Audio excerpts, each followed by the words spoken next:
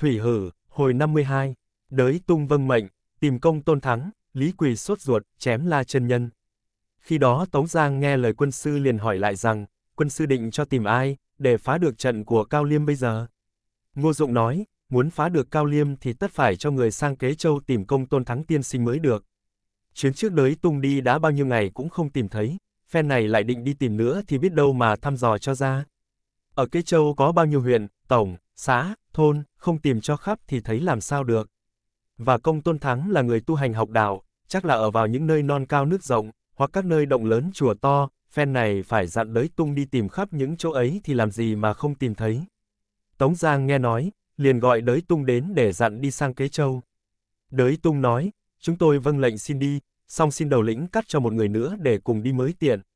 Ngô Dụng nói, viện trưởng dụng phép thần hành, thì ai theo kịp được mà cho người theo. Đới tung nói, nếu có ai cùng đi thì tôi buộc giáp mã vào trái đùi rồi cũng đi nhanh được ngay. Lý Quỳ đứng bên cạnh ứng lên rằng, tôi xin đi với viện trưởng.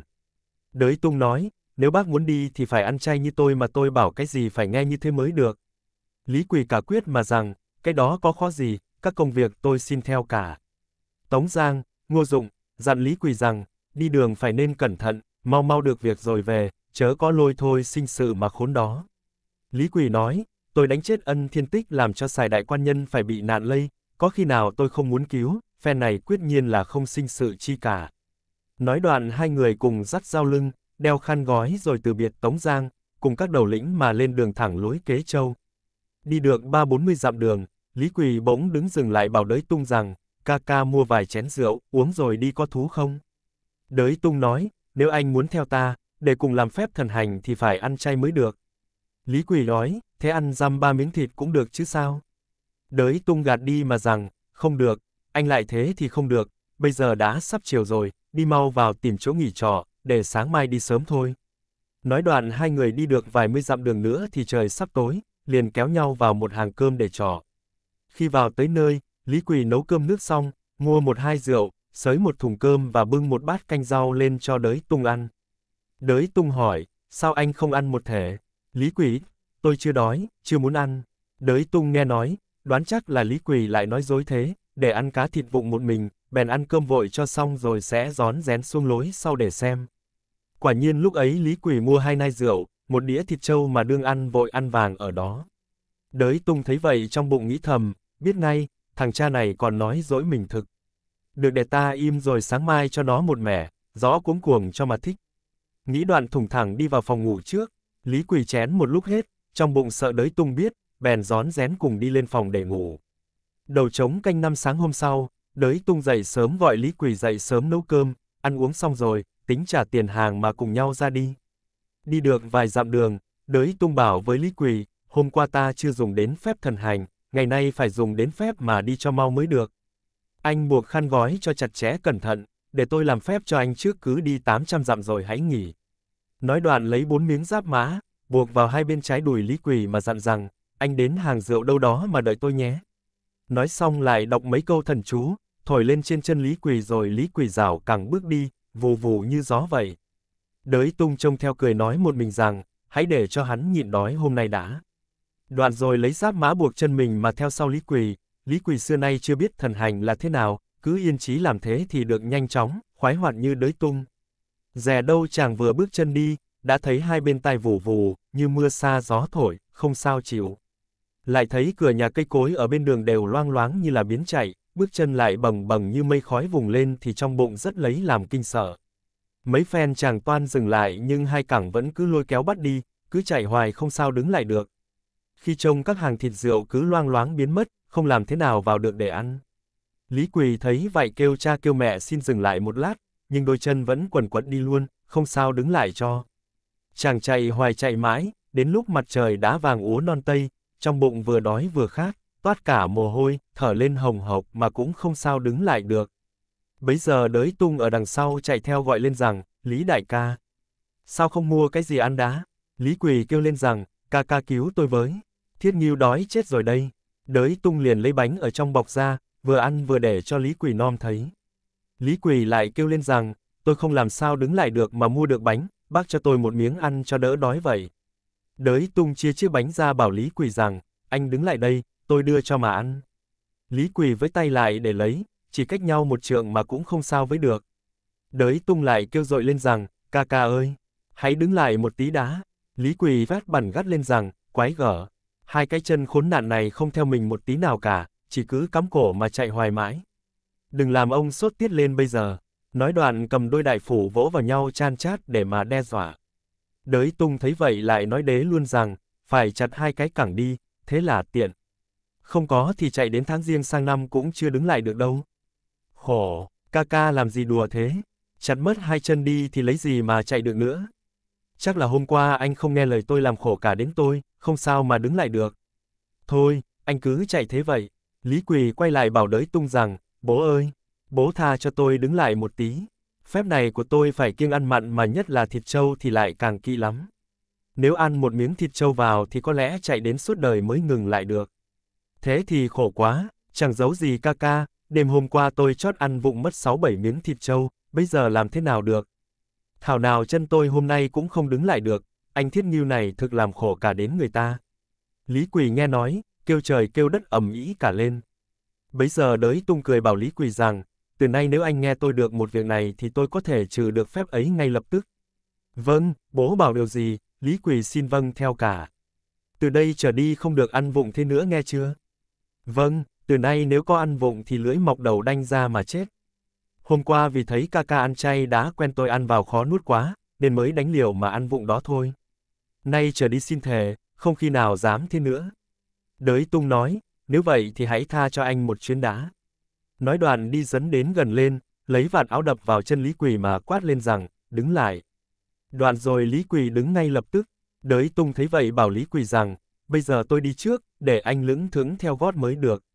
Lý Quỳ rằng vâng lời, toan cất cẳng lên đi, bỗng thấy hai chân nặng chiếu như hai cây sắt, không sao mà nhúc nhích đi được. Chàng liền kêu lên rằng, khổ lắm, ca ca lại cứu tôi một tí. Đới tung nghe nói, quay lại cười mà hỏi rằng, vừa rồi anh thề có thực không?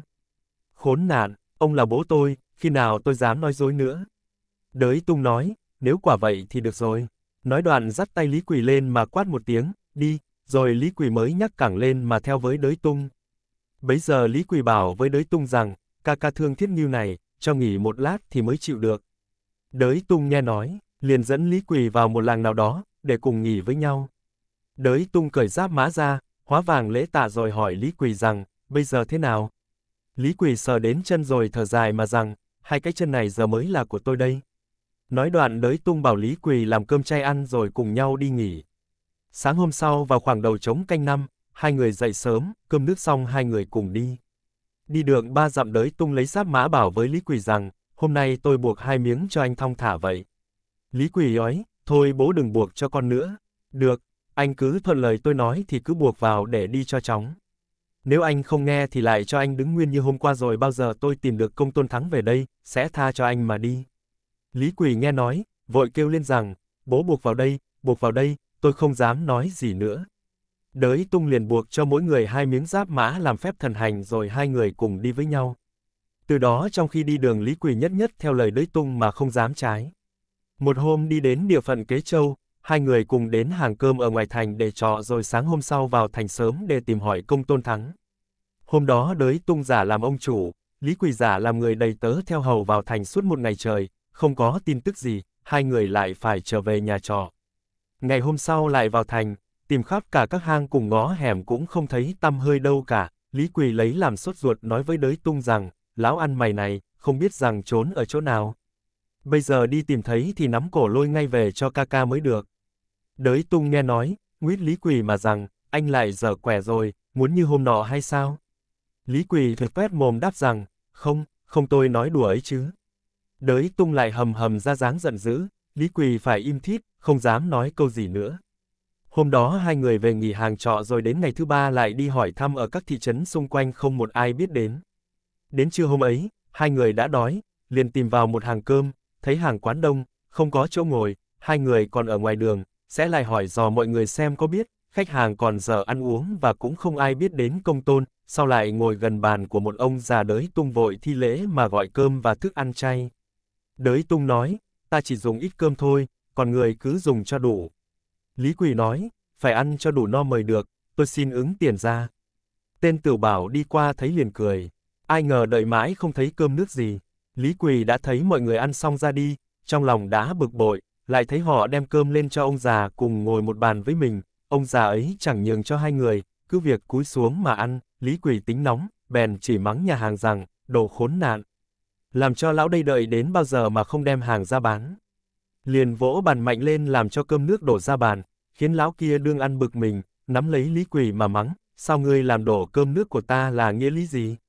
Lý Quỳ cứ toan giơ tay cử lại, đới tung ngăn vội mà rằng, ngươi không được thế, xin ông già hãy nể mặt tôi xin đền tiền cơm nước cho ông, đừng lôi thôi gì nữa, thằng đầy tớ của tôi không biết lễ phép thế nào, vậy xin lỗi cụ. Người già kia nói, khách quan không rõ cho tôi, tôi tới đây đường xa, cần ăn cơm sớm, để tôi đi nghe giảng đạo, thế này lại chậm lỡ thôi. Đới tung nghe vậy liền hỏi, thưa cụ là người ở đâu, đến đây nghe ai giảng đạo? Ông già nói, ngôi người ở huyện Cửu Cung, thuộc Tô Châu, vốn ở núi Nhị Tiền, nay vào trong thành để mua dầu hương, mang về trên núi, nghe la chân nhân giảng phép trường sinh bất tử. Đới tung liền nghĩ ngay, có lẽ công tôn thắng cũng ở trong đám này chăng? Liền thừa dịp hỏi ngay ông lão, thưa cụ ở trong quý trang có vị nào là công tôn thắng đạo nhân chăng? Ông già nói, nếu khách quan mà hỏi mọi người thì không ai biết đến ông ta, chỉ tôi đây với ông ta vốn là hàng xóm, ông ta đi vân du luôn, có bà mẹ ở nhà, nếu hỏi là công tôn thắng là tên tục, không ai nhận được ra, phải gọi là nhất thanh đạo nhân mới tìm tới được. Đới tung nói, chính chúng tôi đây đương muốn gặp ông ta, tìm đến chết người mà chả gặp, may thay gặp cụ xin cụ chỉ giúp cho chúng tôi được tới nhà. Liền đứng vái ông cụ mà hỏi, thưa cụ từ đây tới núi Nhị Tiên bao nhiêu đường đất và nhất thanh đạo nhân có ở nhà không? Ông già nói, núi Nhị Tiên cách huyện Cửu Cung chừng ngoài 40 dặm đường, còn nhất thanh đạo nhân là bậc cao đồ của La chân Nhân, không lúc rời ở bên cạnh. Đới tung nghe nói cả mừng, liền gọi hàng dọn cơm nước mau lên rồi cùng ông già và Lý Quỳ cùng ăn uống, xong rồi tính trả tiền hàng, cùng ra khỏi điếm, ông già mời đới tung cùng đi một thể. Đới tung nói, xin mời cụ đi trước, chúng tôi còn mua vàng hương cho đủ lễ đã. Rồi cùng nhau bái biệt, đới tung trở vào nhà hàng lấy hành lý rồi buộc giáp mã vào chân mình và chân Lý Quỳ, hai người dùng phép thần hành, chốc lát đã tới huyện Cửu Cung mới làm phép dừng lại. Khi đó đới tung hỏi thăm đường về núi Nhị Tiên, có người mách cho từ huyện này đi tới năm dặm về phía đông thì tới núi đó.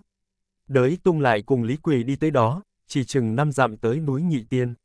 Đới tung gặp một tiêu phu bèn thi lễ mà hỏi thăm nhà nhớ thanh đạo nhân. Tiểu phu chỉ cho biết, đi tới mỏm núi kia, qua cái cầu đá là đến nhà ông ta. Đới tung liền cảm ơn xong, hai người lại lần đến đó, thấy có mươi túp nhà tranh, ngoài xung quanh tường thấp lè tè, chứ có cầu đá con con rồi thấy một người đàn bà cầm thúng quả ở trong đi ra.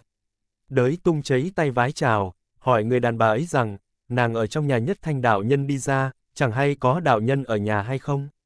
Có, đạo nhân đương luyện phép ở trong đó. Đới tung mừng rỡ bảo Lý Quỳ rằng, anh đứng nấp ở đây, đợi tôi vào xem đã rồi anh sẽ vào sau. Nói đoạn quay đi vào trước, khi vào thấy có một dãy ba gian nhà lá, trước cửa treo cái rèm bằng cỏ lau. Đới tung bèn đằng hắng một cái rất to rồi có một bà da mồi tóc bạc ở trong nhà chạy ra, chàng liền vái chào hỏi rằng, bẩm cụ chúng tôi muốn vào hầu thanh đạo nhân một lát. Bà cụ hỏi, ngài là ai? Ở đâu đến đây? Bẩm, chúng tôi là đới tung ở Sơn Đông mới đến. Cháu nó đi chơi vắng chưa về. Dạ, thưa cụ, chúng con là anh em bạn cũ, muốn cần hỏi việc gấp, xin cụ làm ơn bảo cho. Hiện có không có ở nhà, ngài cần chuyện gì, cứ dặn tôi cũng được. Khi nào nó về, ngài sẽ đến chơi. Đới tung nghe nói, vội đáp rằng, nếu vậy xin để khi khác tôi sẽ đến. Nói xong vái chào đi ra, bảo với Lý Quỳ rằng, bây giờ phải cần đến anh mới được. Vừa rồi bà mẹ ông ta chối là đi vắng, vậy để anh vào hỏi lần nữa, nếu bà ta còn chối thì đánh luôn, nhưng chớ đánh đau, lúc nào tôi vào thì thôi ngay mới được. Lý quỷ vâng lời, mở khăn gói lấy xong phủ dắt ở sau lưng rồi đi thẳng vào cửa mà quát to lên rằng, ai đó? Ra đây, bà cụ nghe tiếng hỏi, ai, rồi vội chạy ra, trông thấy Lý quỷ trợn mắt tròn xe lên thì trong bụng lấy làm sợ hãi, liền hỏi rằng, ca ca có việc gì đó. Lý quỷ nói, ta là Hắc Toàn Phong ở Lương Sơn Bạc, vâng tướng lệnh của Tiểu, Tống ca ca đến đón công tôn thắng. Nếu đem hắn ra đây thì tử tế, bằng không thì ta cho mồi lửa đốt phang nhà đi bây giờ. Nói xong lại thét lên rằng, mau mau ra đây. Bà cụ nói, hảo hán ôi, nhà tôi đây là nhất thanh đạo nhân, chứ không phải nhà công tôn thắng đâu. Cứ gọi hắn ra đây, ta nhận mặt khác biết. Hắn đi chơi vắng nhà chưa về. Lý Quỳ nghe đến đó, rút phăng đôi phủ ra, chém một nhát đổ hẳn một bên tường rồi hầm hầm ra mặt giận dữ. Bà cụ vội chạy đến ôm giữ Lý Quỳ lại. Lý Quỳ quát lên rằng, nếu không bảo con trai ra đây thì ta chém chết bây giờ. Nói đoạn dơ búa chém luôn làm cho bà cụ kinh sợ ngã lăn ra đó. Bấy giờ công tôn thắng ở trong nhà chạy ra kêu lên rằng, không được vô lễ như thế. Đoạn rồi thấy đới tung ở ngoài thét mắng rằng, thiết ngưa sao được sắc láo làm cho bà cụ kinh sợ như vậy. Nói đoạn đới tung vội vàng nâng bà cụ dậy rồi lý quỷ vất đôi song phủ xuống, vái chào công tôn thắng mà rằng, xin ca ca tha lỗi, không làm thế thì bao giờ ca ca chịu ra. Công tôn thắng vội vàng nâng mẹ dậy, vái chào hai người rồi mời vào trong nhà, công tôn thắng hỏi, sao ngài lại tìm được đến đây? Đới tung nói, chuyến trước tôi đã đi đến Kế Châu tìm khắp mọi nơi không thấy ca ca ở đâu, sau rủ được mấy người nhập bọn cùng về trên núi. Chuyến này Tống Công Minh tới đường Châu cứu xài đại quan nhân, chẳng may bị chi phủ Cao Liêm dùng phép yêu ma đánh luôn mấy trận, không sao mà chống lại được. Nhân vậy phải cho tiểu đệ cùng Lý Quỳ đi mời ca ca, về để bàn kế giúp cho. Tiểu đệ tới Kế Châu thăm hỏi mấy ngày không được, sau may vào hàng bánh, gặp một ông già chỉ bảo dùm cho, bây giờ mới biết đường mà lần hỏi đến đây. Khi tới cổng đã gặp một người đàn bà đi ra, chúng tôi hỏi thăm đã biết chắc là ca ca ở nhà. Ai ngờ vào tới nơi cụ lại nói dối là đi vắng, nhân thế phải lập kế cho Lý Quỳ vào hỏi, như vậy thực vô lễ, xin ca ca tha lỗi cho Tống Công Minh, hiện nay ở đất cao đường, một ngày dài tựa ba thu, vậy ca ca sắp sửa đi ngay cho chóng xong công việc. Công Tôn Thắng nói, tôi từ thuở trôi nổi giang hồ, trong lòng thực vẫn mộ các tay hảo hán. Duy từ khi ở Lương Sơn Bạc về đây, một là mẹ già đầu bạc, không ai nuôi nấng trông coi, hai là La chân Nhân cũng có lòng yêu mến, không cho đi đâu, lại e các vị hảo hán ở Lương Sơn Bạc đến đây tìm hỏi, nhân thế bắt tôi phải đổi tên là Nhất Thanh Đạo Nhân mà giữ giết ở nhà, không còn ai biết đến được nữa. Ngày nay Tống Công Minh, đương khi nguy cấp, vậy xin ca ca lấy lượng tử bi mà đến đó một phen rồi sẽ liệu. Bây giờ tôi không thể nào mà đi được, vì có mẹ già phải trông coi khuya sớm và La chân Nhân cũng không chịu cho đi. Đới tung đứng dậy cúi lại công tôn thắng, mà nhất tâm cầu khẩn xin đi, công tôn thắng đỡ dậy mà rằng, nếu vậy để tôi định liệu xem sao. Nói đoạn giữ đới tung và Lý Quỳ ở đó rồi làm cơm chay thiết đái hai người. Khi ăn uống xong, đới tung lại vật nài nói với công tôn thắng rằng, nếu ca ca không chịu đi thì Tống Công Minh tất bị Cao Liêm bắt được mà đại nghĩa ở Lương Sơn Bạc từ nay tất là đổ vỡ cả. Để tôi bẩm với sư phụ chân nhân, nếu người có bằng lòng thì sẽ đi một thể. Xin ca ca đi hỏi ngay bây giờ cho. Hãy thư thả, nghỉ đây một đêm, để sáng mai đi hỏi cũng được. Bây giờ Tống Công Minh ở đường Châu mong mỏi từng giờ từng phút, vậy xin ca ca đi hỏi giúp ngay cho. Công Tôn Thắng thấy lời lẽ ân cần, không sao cầm lòng được, bèn dẫn cả đới tung, Lý Quỳ, cùng lên trên núi Nhị Tiên. Bấy giờ đương rào cuối thu sang đông, ngày ngắn đêm dài, ba người đi được một quãng thì mặt trời đã tà tà xế tối. Công Tôn Thắng dẫn hai người đến một ngõ nhỏ, đến quán La Chân Nhân, thấy có cái biển son đê ba chữ, chân nhân quán, rất to. Ba người vào đến đình sửa áo, liền cùng nhau chỉnh đốn áo khăn rồi đi qua một lũy hành lang đến hiên tùng hạc. Khi đó có hai tên tiểu đồng, thấy công tôn thắng đến, vội vào báo cho chân nhân biết.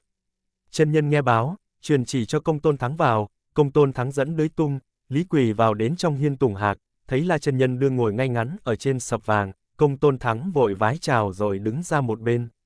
Đới tung thấy vậy cũng vội vàng cúi xuống lại chào, còn Lý Quỳ vẫn đứng im mà đưa mắt nhìn chân chân không chớp.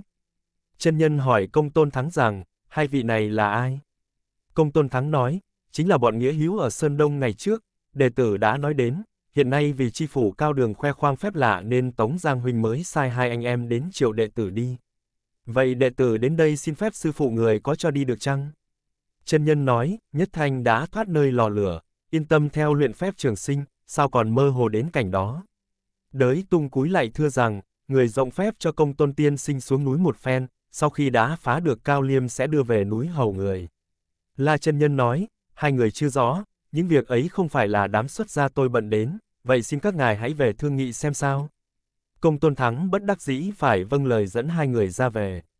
Bấy giờ Lý Quỳ mới hỏi riêng rằng, vừa rồi lão gia nói gì thế? Đới tung đáp, anh lại không nghe rõ hay sao? Tiếng nói thế, ai còn nghe ra cái gì? Đấy là sư phụ ông ta không cho đi đấy. Lý Quỳ nghe nói, tức giận mà kêu lên rằng, mình đi bao nhiêu đường đất khổ sở biết bao. Bây giờ tìm thấy rồi, lại hoạch hoẹ mãi. Đừng làm ông sốt ruột lên thì gọi là xé tan cái mũ ấy ra rồi nắm thắt lưng kéo cổ thằng già ấy xuống núi cho mà xem. Đới tung thấy vậy, nguyết Lý Quỳ mà rằng, anh lại muốn đóng đinh chân xuống đây rồi. Lý Quỳ vội làm mặt tươi cười mà rằng, không, không, tôi nói đùa đấy chứ. Đêm hôm ấy hai người về tới nhà, công tôn thắng sai dọn cơm ăn. Công tôn thắng cùng đới tung ăn uống như thường, Di Lý Quỳ cứ ngồi nghĩ ngây người mà không ăn uống chi cả. Công tôn thắng bảo với hai người rằng, hãy dằn lòng nghỉ đây một tối, sáng mai tôi đến nói lại xem, nếu có cho đi thì hay lắm. Đới tung đành phải cất dọn hành lý rồi cùng với Lý Quỳ, cùng ngủ một nơi. Lý Quỳ nằm tràn trọc không sao ngủ được, đến sáng canh tư thì chàng ngồi nhồm dậy, nghe thấy đới tung ngủ ngáy khò khò như chết, chàng liền nghĩ thầm trong bụng rằng, thằng cha nó. Vô lý lý nó là người ở Lương Sơn về đây, lại còn phải hỏi sư phụ nào. Mình định cho phát nó một búa là xong, nhưng giết nó thì lấy ai cứu ca ca cho được. Đoạn rồi lại nghĩ, nếu sáng mai mà lão già lại không chịu cho đi thì có phải là lỡ cả việc của ca ca không? Thế này thì không thể nào mà nhịn được, bất nhượng giết phăng thằng già kia, cho nó hết hỏi là tất nhiên phải đi với mình hẳn. Chàng nghĩ đến đó, liền sờ đến đôi phủ, khẽ mở cửa phòng, lần bóng trăng trong mà đi lên tử hư. Khi tới nơi, thấy cửa đóng kín mít, lại hai bên tường thấy lẻ tè, chàng liền nhảy tót vào trong, sẽ mở cửa ra rồi lần mò vào trong hiên tùng hạc. Chàng đi đến trước hiên, nghe trong cửa có tiếng người tụng kinh, bèn nhảy lên chỗ khe cửa để xem thì thấy La chân nhân ngồi ở chỗ lúc chiều, trên án trước mặt có lò lửa hương khói bốc lên nghi ngút và hai cây nến thắp sáng choang. Lý Quỳ ói một mình, thằng cha này số chết đây, rồi lần đến bên cửa sẽ lấy tay đẩy tung cánh cửa ra, đoạn rồi lấy búa sấn vào, nhè giữa óc La chân nhân choang cho một búa, ngã gục xuống giường. Lý Quỳ nom kỹ thấy máu trắng chảy ra, bèn cười mà nói rằng, thằng cha này luyện tài thực làm thế nào mà nguyên khí hãy còn nguyên. Chàng cũng nom đến cái mũ cũng vỡ ra làm đôi mà trên đầu thì toát một nhát thẳng xuống dưới cổ. Chàng lại nói, giết được thằng cha này, tất là công tôn thắng phải theo chúng mình hẳn. Nói đoạn toan quay về, chợt đâu một tên thanh y đạo đồng chạy đến ôm lấy Lý Quỳ mà rằng, anh giết thầy tôi, bây giờ trực chạy đi đâu? Lý Quỳ dễ búa lên mà quát rằng, thằng danh con này, ông cho một búa nhân thể. Nói đoạn chém một nhát chết quay ra đó rồi cười nói một mình rằng, bây giờ còn đứa nào ra đây nữa không? Thôi ta đi về, miệng nói chân đi chạy thẳng một mạch về nhà công tôn thắng, tới nơi lẻn vào thấy đới tung vẫn còn ngủ im thim thít, chàng lại đóng cửa rồi vào nằm tử tế. Sáng hôm sau dậy sớm, công tôn thắng sai dọn cơm cùng ăn, cơm nước xong đới tung lại thúc giục công tôn thắng lên núi để xin phép, Lý Quỳ thấy vậy chỉ bầm bụng cười thầm mà không dám nói. Đoạn rồi công tôn thắng đưa hai người cùng đến quán tử hư. Khi vào tới Tùng Hạc, có hai tên đạo đồng đứng ở đó. Công tôn thắng liền hỏi, chân nhân ngồi ở đâu? Đạo đồng đáp, chân nhân đương ngồi ở trên vân sàng đó. Lý Quỳ nghe nói cả kinh, lè lưỡi ra đến nửa ngày không co vào được. Bấy giờ ba người cùng mở rèm đi vào, quả nhiên thấy La chân nhân đương ngồi trên vân sàng ở giữa nhà. Lý Quỳ thấy vậy nghĩ thầm rằng, có lẽ đêm qua mình giết nhầm chắc, vừa nghĩ xong thấy chân nhân hỏi, ba các ngươi đến đây làm gì? Đới tung nói, chúng tôi đến kêu với sư phụ mở lòng từ bi cứu cho khỏi nạn, chúng tôi được đội ơn đức muôn vàn. La chân nhân hỏi, người đen lớn kia là ai thế? Đới tung bẩm, hắn là nghĩa đệ của tôi tên là Lý Quỳ. Chân nhân cười nói, đáng lẽ không cho công tôn thắng đi, nhưng nể mặt Lý Quỳ, nên cho anh ta đi một phen. Đới tung lại tạ rồi lại nói chuyện với Lý Quỳ. Lý Quỳ nghe nói, nghĩ thầm trong bụng, anh này biết mình định giết nên mới thế đây. Chân nhân lại nói, ta làm phép cho ba người đến ngay đường châu bây giờ. Đới tung vâng lời tạ ơn rồi tự nghĩ rằng, La chân nhân lại có phép đi nhanh hơn phép thần hành của ta hẳn. Chân nhân gọi đạo đồng, lấy ba cái khăn tay đến. Đới tung nói với chân nhân rằng, bẩm sư phụ làm thế nào cho chúng tôi tới ngay được đường châu. Chân nhân đứng dậy bảo ba người rằng, các ngươi đi ra đây với ta. Ba người vâng lời theo chân nhân ra chỗ mỏm đá bảo công tôn thắng đứng trụm hai chân lên trên rồi chân nhân lấy tay áo phẩy một cái mà quát lên rằng, lên. Bỗng dưng cái khăn hóa ra một vầng mây đỏ, đem công tôn thắng lên cao ước chừng 20 trượng, chân nhân lại quát lên, im, thì thấy đám mây đứng im lại mà không đi nữa. Chân nhân lại lấy khăn tay xanh, bảo đới tung trèo lên rồi quát một tiếng, lên, thì khăn tay xanh hóa ra đám mây xanh mà đưa đới tung lên cao bằng chỗ công tôn thắng mà đang lơ lửng ở đó. Lý Quỷ Nom thấy vậy, ngây hẳn người ra, như thằng dại vậy. Bấy giờ chân nhân lại bảo lấy khăn tay trắng, bảo Lý Quỷ đứng lên. Lý Quỷ nói, đừng làm đùa thế, lỡ ngã một cái thì quan ra. Chân nhân nói, anh Nom hai người kia có ngã không? Lý Quỷ Hiền đứng vào cái khăn tay. Chân nhân quát lên một tiếng, lên, rồi khăn tay trắng hóa thành đám mây trắng đem quân bay lên, Lý Quỳ kêu lên, ái, ái, không chịu được, cho xuống mau. Chân nhân vẫy tay một cái, hai đám mây xanh, đỏ đều là là bay xuống. Đới tung lại tả chân nhân, đứng hầu về bên hữu, còn công tôn thắng đứng hầu về bên tả. Bấy giờ còn một mình Lý Quỳ ở trên mây trắng kêu lên rằng, trời ơi! Tôi muốn đái bây giờ, mau mau cho xuống, không có thì đái cả vào đầu bây giờ. La chân nhân đứng dưới hỏi lên rằng, chúng ta là bọn tu hành có can phạm gì đến ngươi? Sao đêm hôm qua ngươi dám cào tường vào, giơ búa chém ta? Nếu ta không phải là người có đạo đức thì còn sống làm sao được nữa? Ngươi lại giết cả đạo đồng của ta nữa là nghĩa lý gì? Lý quỷ nói, không phải tôi. Có lẽ ông lầm rồi. La chân nhân cười rằng, thôi cũng chỉ chém hai cái túm cỏ của ta đó thôi. Nhưng bụng ngươi đã bất thiện thì ta phải cho một mẻ mà sửa đổi đi mới được. Nói đoạn giơ tay vẫy, quát lên một tiếng, đi, rồi thấy một trận ác phong đưa đến thổi bạt Lý quỳ đi lên tít trên mây. Đoạn rồi có hai người lực sĩ khăn vàng rong áp hai bên. Bấy giờ Lý Quỳ chỉ nghe thấy hai bên tay vù vù như gió táp mưa xa, trông xuống bên dưới cỏ cây cửa nhà đều ầm ầm bay chuyển. Dưới chân mình cũng chẳng khác nào gió dục mây vần, càng ngày càng đổi dạt mãi đi, không biết trời đất là đâu nữa. Lý Quỳ trông thấy sợ hãi rụng rời, chân tay dẫy lên đây đẩy. Chợt đâu nghe một tiếng huỵch thật mạnh, chàng nhắm mắt nhìn kỹ thì rơi ngay xuống nóc nhà công đường phủ kế châu rồi lăn thồ lồ xuống đất. Khi đó quan phủ mã sĩ đương ngồi trong công đường, nhà lại đứng hầu cả hai bên, thấy bỗng có người ở trên nóc nhà lăn xuống thì ai nấy đều kinh sợ không hiểu ra sao cả. Quan phủ bèn thét lính trói lại rồi bắt rong đến trước cửa công đường ma quát lên rằng, thằng này mày lại yêu quái ở đâu mà lại rơi xuống đó. Lý Quỳ đương đau đớn, vỡ cả đầu sức cả mặt, thở hồng hộc, không sao mà trả lời được. Chi phủ lại quát, thằng này tất là yêu quái ở đâu, bây lấy nước phép ra đây. Mấy tên lính ngục vâng lời, đem Lý Quỳ mà trói lại, đưa ra chỗ bãi cỏ trước cửa công đường rồi một tên ngu hầu bưng chậu huyết cho và một người bưng thùng nước giải rội từ đầu Lý Quỳ xuống. Lý Quỳ ý mình mẩy mặt mũi, toàn nhơ bẩn cả lên, bèn kêu rằng, tôi không phải là yêu ma nào đâu. Tôi là người nhà La chân Nhân đây. Nguyên La chân Nhân vốn có tiếng đạo đức ở đất Kế Châu, quanh vùng đó, ai cũng gọi là ông thần tiên sống, nhân thế nên không ai động đến Lý Quỳ nữa. Đoạn rồi chúng lại dẫn Lý Quỳ vào công đường mà kêu lên rằng, La chân Nhân là một người có tiếng là thần tiên sống ở đất Kế Châu. Vậy quả người này là người nhà La chân Nhân thì không nên trị tội làm chi. Chi phủ cười rằng, ta đọc hàng nghìn vạn cuốn sách, nghe hết chuyện xưa nay, chưa từng nghe thấy ông thần tiên nào lại có người đồ đệ như thế này bao giờ. Thằng này chắc là yêu quái, chúng đem đánh đi ta xem. Chúng vâng lệnh phải đem Lý Quỳ ra đánh lấy đánh để, chỉ còn thiếu một nước chết là xong. Chi phủ quát lên rằng, nếu thú nhận là yêu quái thì ta tha cho. Lý Quỳ phải bất đắc dĩ mà xưng tên Lý Nhị. Chi phủ liền sai đóng gông nặng mà giam xuống nhà lao tử tù. Khi xuống ngục, Lý Quỳ nói rằng, ta nay bị nhật thần xung khắc, sao lại gông ta thế này? Ta truyền cho cả phủ kế châu là chết hết đó. Mấy anh áp lao tiết cấp và bọn lính ngục vẫn sợ tiếng la chân nhân xưa nay, vội vàng đến hỏi Lý Quỳ rằng, bác là người ở đâu? Cứ nói thực cho chúng tôi biết. Lý Quỳ nói, ta là người thân của la chân nhân, nên đem ta đến bỏ chốn này, đây ải vài hôm rồi thế nào cũng đón ta về. Nếu các anh không đem rượu thịt cho ta ăn uống tử tế thì ta cho toàn ra các anh chết cả đó. Bọn kia nghe nói, anh nào cũng sợ hãi, phải mua rượu thịt đến cho ăn uống. Lý Quỳ thấy chúng sợ hãi lại càng làm già lên, cho chúng sợ hãi, cho chúng sợ thêm, phải đem nước nóng đến cho chàng tắm rửa.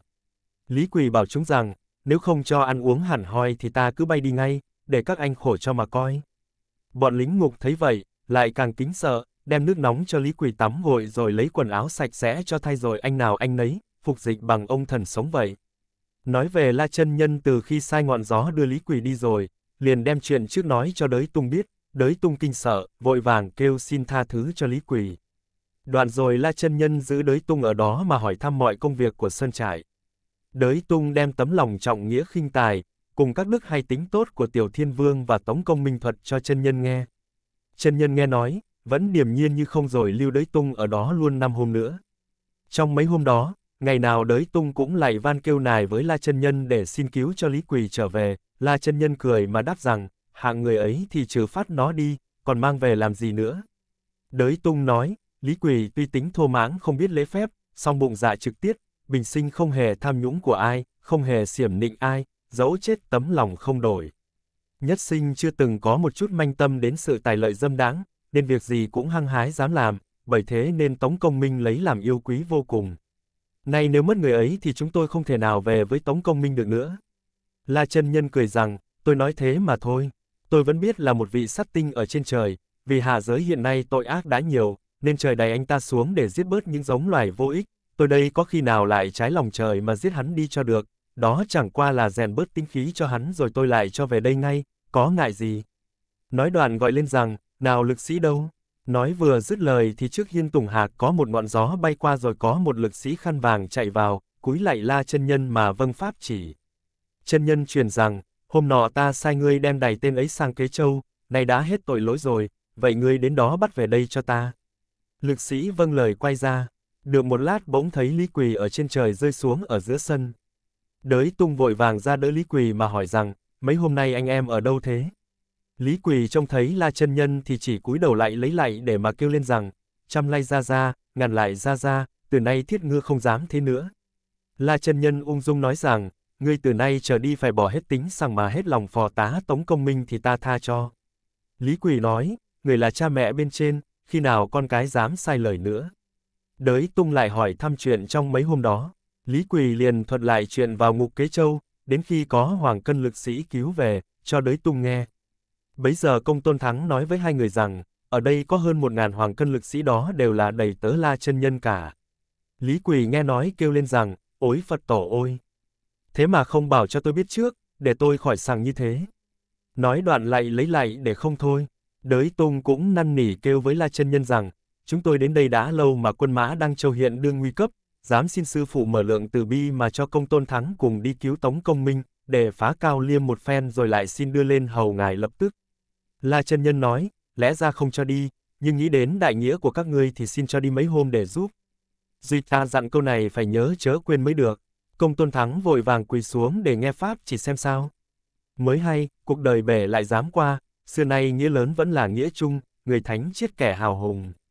Đặt thân tuy khác, giữ lòng dễ sai, cùng nhau tế độ lấy đời, gây nên hạnh phúc cho nòi giống xưa, can qua dù sự chẳng ngờ, gan vàng dạ sắt chơ chơ mới là. Lời bàn của Thánh Tháng Hồi này toàn đem truyền quái lạ viết ra văn, trong truyền có một dạng bút mực khác, song ở độc giả, phải nên lược qua truyền quái lạ mà đoán ra ý tứ. Tại sao? Vì quái lạ vốn ác đạo của văn chương, chuyện này cũng có nói ra, chẳng phải là không thoát tục mà có tác dụng vậy cũng có ý tứ khác người đó vậy. Vì trong truyền đã có một công tôn thắng, chẳng thề không có một cao liêm, sinh nảy ra lấy một cao liêm, để phản thấn lại công tôn thắng. Nay chẳng vì lúc này phép thuật gớm ghê mà tả ra một phen đấu phép hay sao? Song le phép thuật gớm ghê vốn là khó vậy, nếu chẳng phô trương cao liêm thì không thể phô trương công tôn thắng, khoe khoang hai người đấu phép tranh kỳ, đủ mọi phép màu sinh ra quỷ thần cầm thú. Chẳng còn thiếu cái gì thì như chuyện Tây Du và mọi sách không khác, đó là thi nại am đối với nghĩa chẳng làm sao được. Ta nghe nhà văn, từng có những phép bỏ thực cầu hư, ở đây lược tả cao liêm, tường thuật công tôn, ý giả dụng phép này chẳng. Song nghiệp dĩ đã lược tả cao liêm, tường thuật công tôn thì sao chẳng lược tả cả công tôn mà tường thuật đến thầy của công tôn, tức bảo là bỏ thực cầu hư đó vậy. Lại thêm chuyện lý quỳ diệt quái đã lạ, để nảy ra một bậc chân nhân, nảy ra chân nhân, chính là để nảy ra công tôn thắng vậy, nếu chẳng biết ý tứ tác giả như thế mà vội chê lý quỳ đối sĩ bệnh không thể chữa, ta cũng không biết nói thế nào. Hồi này một đoạn tả ra chỗ vỗ bàn đổ bánh, để đi đến những đoạn văn sau, đều do tác giả thổ hết tâm can mới được như thế, không nên coi thường mà đọc qua loa.